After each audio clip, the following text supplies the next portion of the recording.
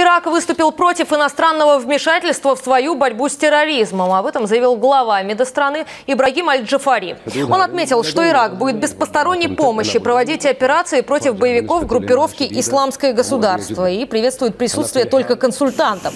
Накануне о намерении направить десантников для помощи иракским военным заговорили в Пентагоне. США продолжают активно наращивать военное присутствие в регионе, направляя туда инструкторов и советников. А ранее в декабре разгорелся скандал из-за того, что что Турция ввела на территорию Ирака свой батальон, как утверждалось, для подготовки местного ополчения. Багдад расценил это как вторжение.